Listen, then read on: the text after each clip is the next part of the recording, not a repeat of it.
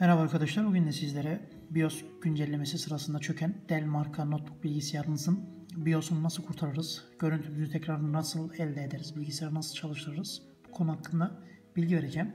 Örneğin önümde görmüş olduğunuz bu bilgisayarımızda bir BIOS çökmesi meydana geldi. Şöyle düğmeye bastığımda birazdan şu ses arka arkaya bu sesi vermekte ve bilgisayarın kesinlikle görüntü aktarmıyor. Ne yapacağız peki bu çökmüş olan BIOS güncellemesini nasıl kurtaracağız? Öncelikle tabii her görüntü vermeyen bilgisayarda çökmüştür, Windows e, BIOS çökmüştür diyemeyiz. Gördüğünüz gibi BIOS çökmesi sonucunda şu bip sesini duyuyorsanız veya BIOS güncelleme sonrası görüntünün gelmediğini fark ettiyseniz benim birazdan yapacağım işlemleri yaparaktan bilgisayarınızın BIOS'unu tekrardan kurtarabilirsiniz. Peki neler yapacağız? Şimdi ona geçelim. Merhaba arkadaşlar tekrardan. Şimdi açılmayan bilgisayarımızı gördük. Peki bunu nasıl kurtaracağız? Öncelikle şunu söyleyeyim arkadaşlar. Bu işlemleri madde madde neler yapacağımıza dair bilgileri ben kendi sorbilene.com sitemizde yayınladım. Burada da yazılı olarak bulabileceksiniz. Bu dosyamızın şey sayfamızın linkini videomuzun açıklama kısmından bulabilirsiniz.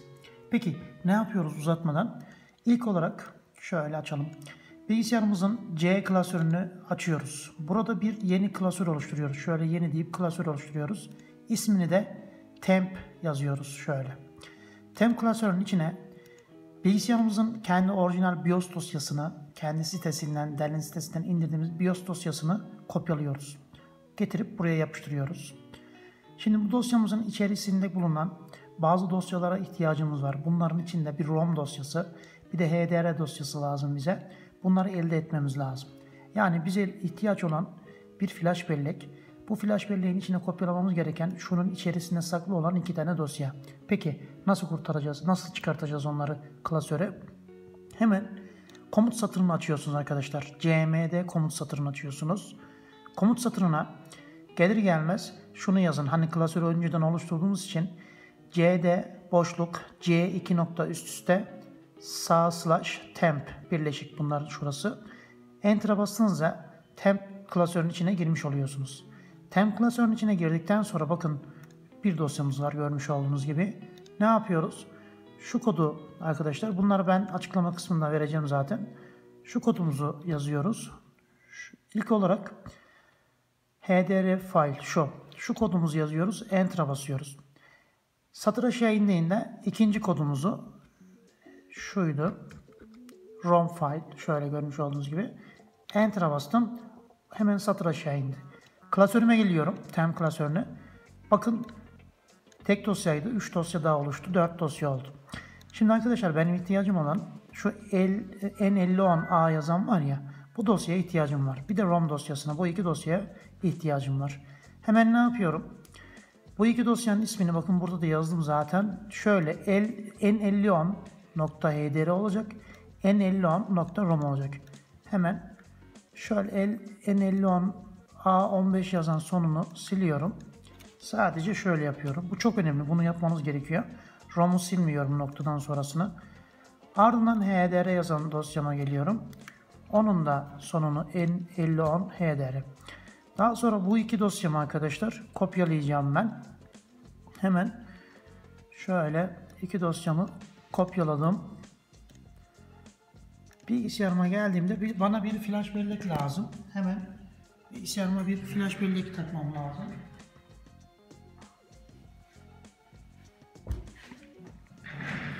Şöyle boş bir flash bellek bulup içi boş olsun. Boş flash belleğimizi bilgisayarımıza taktık. Daha sonra bilgisayarımıza geldiğimizde sağ tuştan biçimlendir. İçindeki her şey silinecek. Önemlidir burası.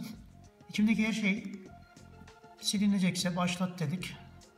Dosyalarımızı alın yedeğiniz varsa bak. Biçimlendir dedik. Burada detay, önemli detay. Dosya sistemi yazan yer FAT32 olacak arkadaşlar. NTFS olmasın.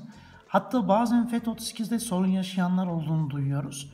Öyle bir şey olursa FAT'e çevirin şuradakine. Ben FAT32 olarak biçimlendirdim. İki tane dosyamı kopyalamıştım. Elde ettiğim o iki dosyayı, tem klasöründeki o iki dosyayı isimlerini değiştirdikten sonra buraya getirdim, yapıştırdım. Bakın iki dosya. Bilgisayarımdan flash belleğe girdiğimde sadece bu iki dosya. Özetleyecek olursak tek BIOS dosyasını indirdim. CMD yardımıyla klasöre çıkarttım. İki tane dosyamın isimlerini değiştirip flash belleğimi biçimlendirdim FAT32 olarak ve içine attım.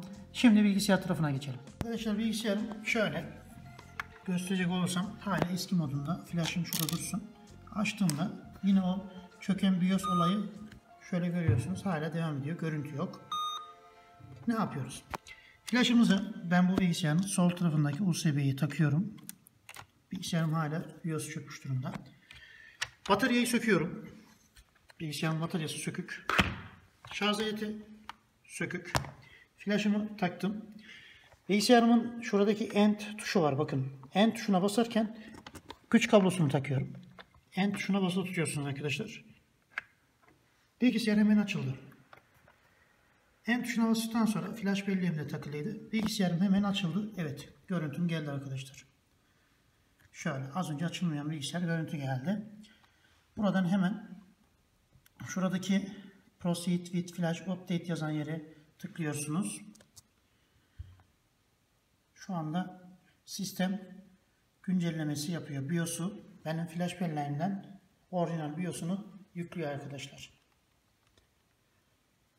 Hiç görüntü gelmeyen Dell marka N5010 bu serisi bu şekilde BIOS'u çökmüştü ve bu şekilde kurtardık arkadaşlar. Şu anda %60-70 oldu.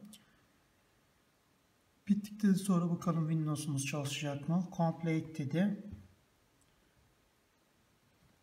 Hemen ESC'ye basıp çıkalım bakalım. Bilgisayarımız kapandı şu anda. Tekrar açıldı. Evet. Bilgisayarımız açıldı. Dell markası geldi. Evet Windows'a geçti. Yapacağımız iş bu, bu kadar arkadaşlar. Videomuzun açıklama kısmında ben bakın bazen bu ekran gelecek arkadaşlar. Burada yine hata verse bile cihazınız yine açılacak arkadaşlar. Benim az önce hatayı veren yer burasıydı. Bu BIOS güncellerken gitmişti zaten. Yine BIOS güncelleme ekranı gelecek. Önemli değil. Devam etsin arkadaşlar. Hata verse bile tekrar başladığında bilgisayarınız sorunsuz bir şekilde açılacaktır. Bu şekilde yaparaktan çökmüş BIOS'unuzu kurtarabilirsiniz arkadaşlar. Kolay gelsin.